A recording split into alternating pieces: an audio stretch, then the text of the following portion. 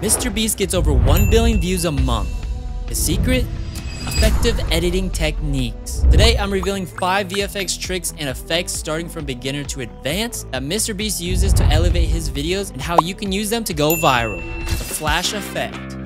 Flash effect is a simple effect that brings energy and attention to your cuts and can be done in less than a minute. Most of these effects in this video are going to be done inside After Effects, but for this one, I'm going to show you guys how to do it in After Effects and Premiere Pro. To create this flash effect, all we're going to do is go down to New Item and click on Adjustment Layer and click OK. Before adding your adjustment layer, just double click on it and we want to make this adjustment layer 20 frames. So we're going to grab it and trim it down so it's 20 frames. You can see the little time code where it's right there. Drag in your adjustment layer and put it right over your first cut over to effects and then type in levels.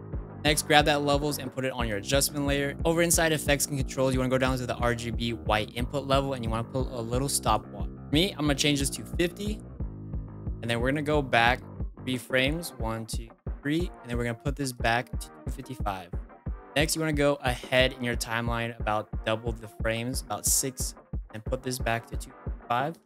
Now, if you play it back, you got this really easy flash effect. Now, to add flashes to your whole video, you can either alt-click and drag and duplicate it and put it right over your second clip, or you can just drag your adjustment layer around your whole entire video. And on your next cut, all you have to do is just highlight these, click Control C, click Control V, and then just highlight them and then drag that middle one right over the transition. Now that you learned how to do it in Premiere Pro, let's do it in After Effects. First thing we're gonna do is right click, click New, and then put in a adjustment layer go to your transition. Inside your effects and presets, we're going to type in exposure. Drag that exposure onto your adjustment layer. On the transition, we're going to change this to 1.5. Next, we're to go over here and click on the stopwatch to put a keyframe. We're to click U on our adjustment layer to bring up the keyframes. We're going to do the same process of going back three frames, putting this to zero, going ahead about double that, so like six or seven seconds, and then putting this to zero. Now, all we have to do is just highlight them, Control C, put it over our next transition, middle, next, same. Now that you just created this flash effect, now it's time for something just as important, text animations. All right, let's be honest. You want to spend the next five minutes trying to learn how to make a text animation, or would it be easier just to give you guys a free text preset? That's what I thought. But before I give away my free text animations, I want to tell you guys about my new TypeFlow text animations pack, featuring 30 plus high quality text animation presets, 10 unique text effects, and a free Chrome text template to instantly take your edits to the next level. No keyframes, no hassle, just drag, drop, and done. These presets will save you hours of time and help you create clean, professional, eye-catching text animations to wow your audience. Don't fall behind, click that link in the description to grab the pack now and upgrade your text animations today. I'll also be dropping free sample text animations from the pack on my store, so go check those out. If you want to add that juicy sauce. Solo color effect.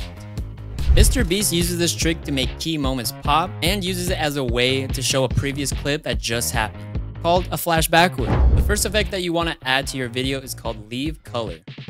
Grab that leave color and put it onto your video. Next, on the color to leave, we want to click on little eyedropper. Now you want to go over and pick what color that you want to keep and every other color will not be seen. For us, we want to keep only the blue color. So we're just going to go on one of these blues and just click right in the middle. On the amount to decolor, we're going to bring this up. And as you can see, you'll slowly see that the blue stays and everything else is black and white. Another key setting is on the magic colors. We're going to change this to use hue.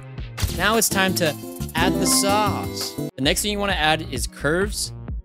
And what curves does, it just adds a little bit more contrast to your video, kind of making it more grungy. So we want to want to hold right here and drag down to bring down the darks. Click right here and bring this up to make an S. Of course, you want to make those minor adjustments. What was that? More sauce? I got you. Another thing our video needs is some texture. So over in effects and presets, we're going to type in auto. And then we're to go down to noise HSL auto. And we're to grab that and put it on our video. Next, on the noise, we're to change this to grain. And on the lightness, we're to turn this to 15.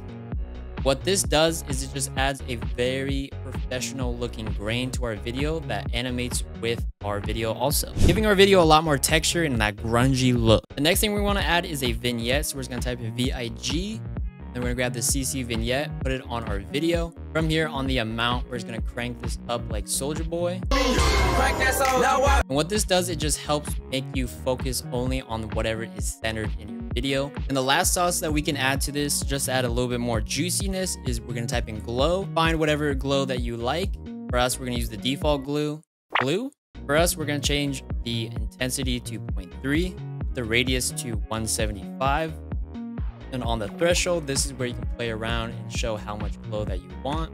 For all my people that have Sapphire, I recommend putting Flicker. Not only does this effect draw your eyes in and helps it feel like it's part of a different segment, but what if you can make your text feel like it's a part of the video? 3D tracked holomatrix text. Now, Mr. Beast uses 3D tracked text to make it feel like it's part of the video. And on top of that, he uses his signature Holomatrix text as his staple. Let me show you how to create both. In our timeline, we have some movement and we're going to be adding some 3D track text to the middle.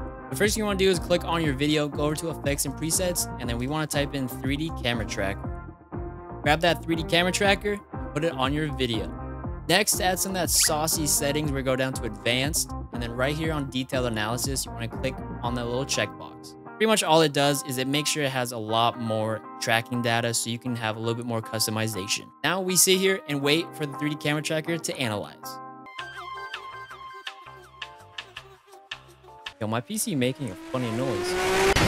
Once it's done analyzing, you'll see all these different camera tracking points. The next step is you want to find where exactly you want to have 3D track text. And for us, we want it to be in the middle right here. And a pro tip, you can just hover over three of them and right click or left click and draw around all the tracking points that you want to track to. Next, you just want to right click for us, we want to create text. We're going to click on create text in camera. Next, we just want to click on our text layer. And from here, this is where we want to adjust it. So from here, there's going to be some minor adjustments. We're going to bring it up and just bring it to the perspective on how you would like it. And for us, we're just going to name this Mr. Beast.